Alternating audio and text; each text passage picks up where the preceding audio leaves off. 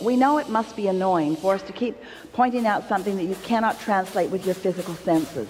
And what we want you to do is to try to be satisfied with the knowledge that if I can feel it, that then I will soon see it. You've just got to find some way of soothing yourself that since I can feel it, therefore it must be. And if you can accomplish that, the receptive mode just means you're receiving something. So you could be in the receptive mode of what your vortex is offering up or what vulnerability offers. In other words, you're always in the receptive mode. So if you just start there by acknowledging that whatever is occurring to you, whatever thoughts are coming to you, whatever manifestations are happening, they are happening in direct relationship with whatever receptive mode you're in. An easier way of hearing it is whatever mood you're in. So that's elementary, isn't it? In other words, you understand that. You all do, don't you? You understand that. So now let's add another factor to that. And let's call that factor momentum. And let's talk about why momentum happens. Momentum happens because you give your attention to something. You give your attention to something and then something manifests and then you give your attention to something and something manifests and you give your attention to something and something manifests. You have it so good because you're out here on the manifesting edge. You're out here on the edge where whatever you've got going on is showing itself to you moment by moment by moment by moment by moment. You have no excuse to be oblivious about what your vibrational countenance is because the things that are manifesting around you are evidence of what it is.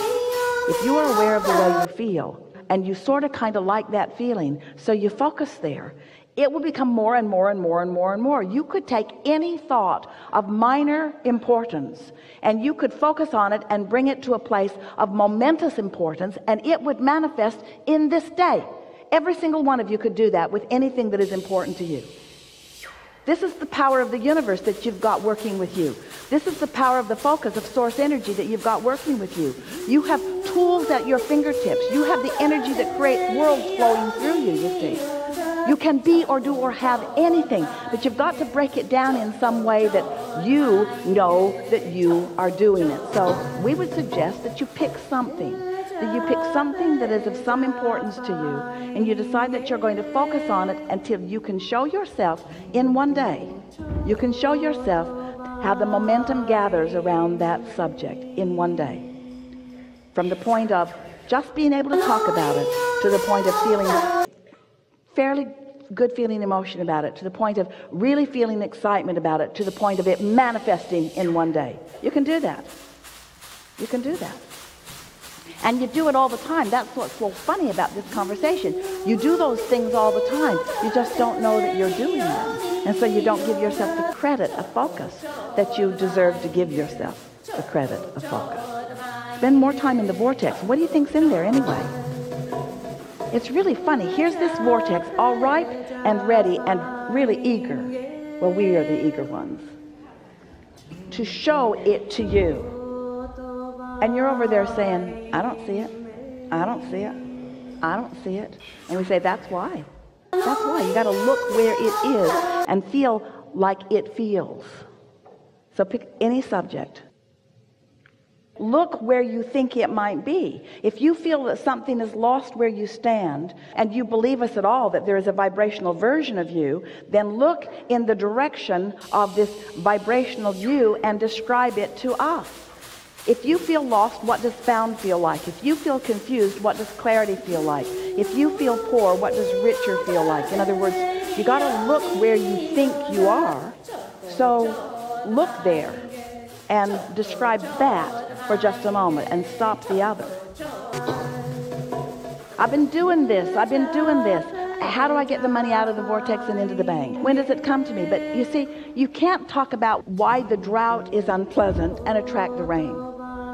You can't talk about what's missing and allow what's missing to be fulfilled. You've got to find a way to look at until you allow yourself. You see, you don't have to build the momentum in the vortex. The momentum is already built. You ask, and the momentum is already gathered, and it's huge and ready for you to receive it.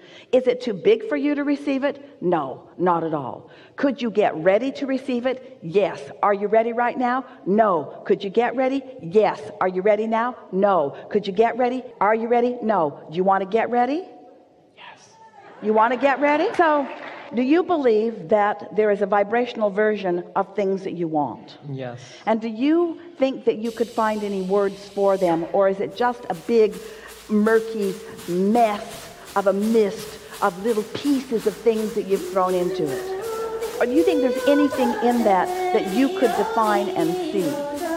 It isn't easy to go there because you don't have the momentum, but we promise you the momentum will come fast. You see, it's easy to tell the other story because that momentum's there. It's easy to say all of those things, but it's not how it needs to be. What's in your vortex that you would like to define? We just want you to find some simple thing that's over there, like a state of clarity or any old thing. What's there that you want? What's there that's missing? What's found that you feel lost from? What's over there that isn't over here? What's over there that you want? What's over there? What's out there? What's up there? What is it that you want? What do you want that you don't have? Pick something that you feel close to. So when you say, I want cars or I want everything, and you say, How? Just change that one question to why. Because the why will hold you in the momentum of your desire longer. The how almost every time will take you out of it. Whenever you ask yourself for an answer that you don't have, you lose your connection. But when you ask a question that leads you further in the momentum of your desire, it allows the momentum of the desire to go further. Did you hear that?